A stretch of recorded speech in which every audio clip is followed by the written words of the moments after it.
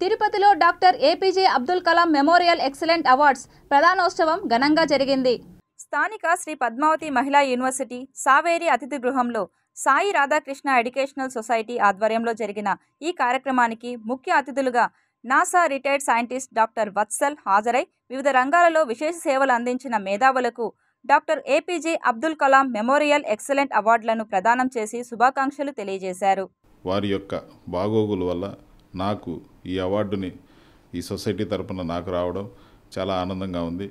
నాకు సహకరించినటువంటి ఈరోజు ఈ అవార్డును కూడా తీసుకుంది కూడా ఒక ప్రముఖమైన వ్యక్తి డాక్టర్ వస్తల్ గారు. డిఆర్డిఓ డైరెక్టర్గా రిటైర్డ్ అయ్యారు. మరియు ఆయన అబ్దుల్ కలాం గారితో పాటు ఆయన టీంలో ఉన్నటువంటి వన్ ఆఫ్ ద మెంబరు. చాలా కాలం వరకు అతనితో వర్క్ చేసిన వ్యక్తి. ఆయన చేతుల ద్వారా ఈ అవార్డు తీసుకోవడం కూడా నాకు చాలా ఆనందంగా ఉంది.